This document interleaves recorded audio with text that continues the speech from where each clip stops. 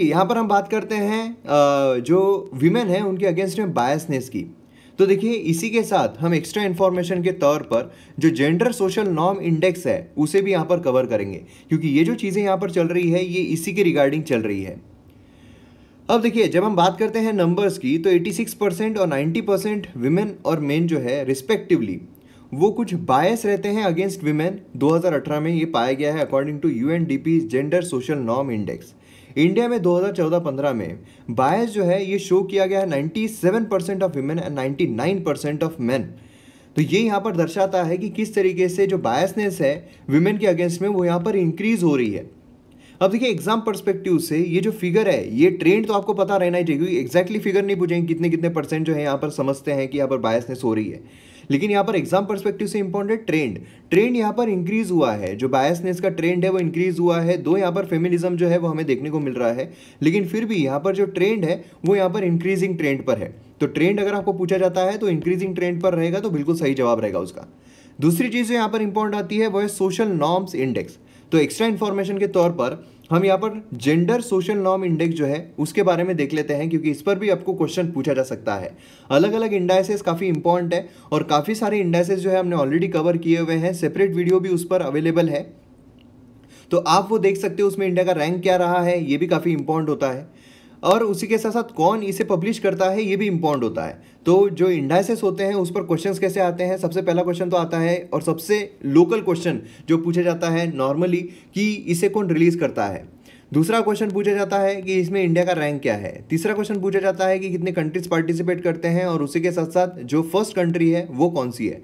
और फोर्थ पूछा जाता है इसके कौन कौन से पैरामीटर्स हैं। तो इस तरीके से चार भागों में हम इसे डिवाइड कर सकते हैं किसी भी इंडेक्स को। तो यहाँ पर अगर आप पहला क्वेश्चन देखोगे तो जेंडर सोशल नॉर्म इंडेक्स जो है gender social norm index united nation development programme UNDP के द्वारा रिलीज़ किया जाता है। अब ये इंडेक्स में होता क्या है? इंडेक्स जो है, ये मेजर करता है कि जो सोशल बेनिफिट्स है जेंडर इक्वालिटी के लिए वो किस तरीके से हैं पॉलिटिक्स में, काम में एजुकेशन में। किस तरीके से यहाँ पर इक्वालिटी जो है जेंडर इक्वालिटी वो हमें देखने को मिल रही है। उसी के साथ साथ इसमें 75 कंट्रीज़ का डाटा जो है वो कवर किया जाता है। 80 percent of the world's population जो है वो यहाँ पर कवर की जाती है। तो कितनी कंट्रीज़ है? 75 कंट्रीज़ जो है वो हमें यहाँ पर देखने को मिलती है। अब यूएनडीपी अगर हम देखते हैं, जो इसे रिलीज़ करता है जेंडर सोशल नॉर्म इंडेक्स उसके रिगार्डिंग भी आपको इन्फॉर्मेशन पता रहना चाहिए, क्योंकि उसके रिगार्डिंग भी आपको क्वेश्चन जो है वो पूछे जा सकते हैं। तो यूनाइटेड नेशन डेवलपमेंट प्रोग्राम ये यूएन ग्लोबल डेवलपमेंट नेटवर्क है, जो स्टैब्लिश किया गया है 1965 में। इसका जो हेडक्वार्टर है, वो हमें न्यूयॉर्क यूएस में देखने को मिलता है। और यूएनडीपी के द्वारा सिर्फ़ जेंडर सोशल नॉर्म इंडेक्स ही नहीं तो बाकी भी कुछ इंडेक्सेस हैं जो पब्लिश किए जाते हैं। जैसे कि gender inequality index human development index ये भी कुछ इंडेक्स है जो यहाँ पर यूएनडीपी के द्वारा पब्लिश किए जाते हैं रिलीज़ किए जाते हैं। अब क्या आप मुझे कमेंट सेक्शन में बता सकते हो कि और कोई यहाँ पर इंडेक्स है क्या कि इनके द्वारा रिलीज़ किए जाते हैं? और कौन कौन से इंडेक्स जो है, वो आपको पता है? वो आप कमेंट सेक्शन में क्या लिख सकते हो? अब देखिए, फिर से हम आते हैं नंबर्स पर, जो यहाँ पर नंबर दर्शाए गए हैं। तो about half of the world's population जो है, वो फील करते हैं कि मेन जो है, वो बेटर पॉलिटिकल लीडर्स बन सकते हैं रेदर दैन फीमेल उसी के साथ साथ फोर्टी परसेंट जो लोग हैं, वो फील करते हैं देन कि जो लो मेन है, ठीक है, वो यहाँ पर बेटर बिज़नेस एग्जीक्यूटिव जो है, वो बन सकते हैं। और उसी के साथ साथ more rights to job when jobs are scarce मतलब उनको ज़्यादा अपॉर्चुनिटीज़ रहती है जब जॉब्स जो है, उनकी अवेबिलिटी कम हो। 24 percent of the parliamentary seat जो है वर्ल्ड वाइड वो वुमेन के द्वारा हेल्ड की गई है। और उसी के साथ साथ ओनली टेन फीमेल हेड जो है, वो गवर्नमेंट की हमें देखने को मिलते हैं। और उसी के साथ साथ less than six percent C जो है S N P five hundred companies वो वीमेन है। तो हमें देखने को मिलता है कि जो मेन है, उन्होंने हर तरफ़ से अपना पगड़ा जो है, वो भारी रखा है। मतलब लोगों का मानना भी यही है कि बेटर पॉलिटिकल लीडर जो है, वो मेल रह सकते हैं। वीमेन जो है, वो इतनी बेटर पॉलिटिकल लीडर नहीं बन सकती एज़ कंपेयर टू फीमेल लेकिन हमारे यहाँ पर बहुत सारी फीमेल जो पॉलिटिकल लीडर्स हैं, वो भी हमें देखने को मिली है, जिन्होंने बहुत अच्छी तरीके से अपना कार्यकाल जो है वो संभाला है। शायद इसका एक ये कारण हो सकता है कि जो फीमेल है, उनको घर से इतनी आज़ादी नहीं मिलती है कि वो पॉलिटिक्स में जा सके। अगर उनका पॉलिटिकल बैकग्राउंड है मतलब अगर उनके पेरेंट जो है अगर पॉलिटिक्स में है, और अगर कोई लेडी जो है वो पॉलिटिक्स में जा रही है तो वो जाती है। मगर ऐसा बहुत कम हमें देखने को मिलता है कि जिनकी फैमिली पॉलिटिक्स में ना हो, लेकिन वो पॉलिटिक्स में एंटर कर रही हो। और वो हमें ऊपर जो गिने चुने लोग हैं, वो देखने को मिलते हैं। और अब तो ये तादाद बढ़ भी रही है, ऐसा नहीं है। लेकिन फिर भी यहाँ पर एक कारण ये हो सकता है। हम जो रीज़न ढूँढने की कोशिश कर रहे हैं कि क्यों यहाँ पर फीमेल को समझते नहीं है। कि बेटर पॉलिटिकल लीडर वो बन सकती है। बेटर पॉलिटिकल लीडर बन सकती है ऐसा क्यों नहीं समझ रहे हैं? क्योंकि वो ज़्यादा बाहर निकल कर आई नहीं है। अब ज़्यादा जो लेडीज़ है वो बाहर निकल कर क्यों नहीं आ रही है? तो इसके ये कारण जो है वो हो सकते हैं। और कौन कौन से कारण आपको लगते हैं? आप कमेंट सेक्शन में लिख सकते हो। उसी के साथ साथ यहाँ पर फोर्टी परसेंट जो है वो जॉब जो है स्केयर है। तो यहाँ पर मेन जो है उन्हें ज़्यादा अपॉर्चुनिटीज़ होती है।